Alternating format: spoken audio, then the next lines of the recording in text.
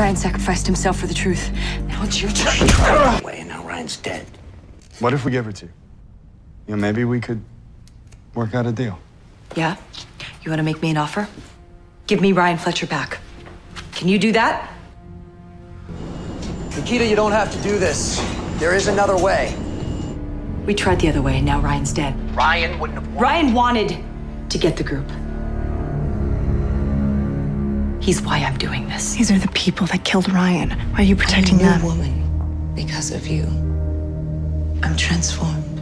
Your face is transformed. Is that a gift from Ryan? I didn't encourage it, of course, not inside division. But after you left me, this team you put together, they followed you. They looked to you. Ryan gave his life for you.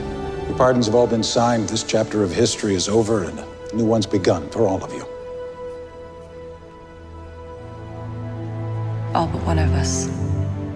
Ryan Fletcher's service has been recognized. He'll be remembered.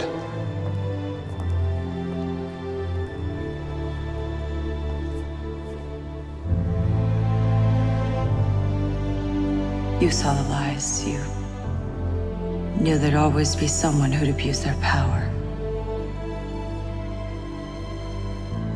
That's why you look to us.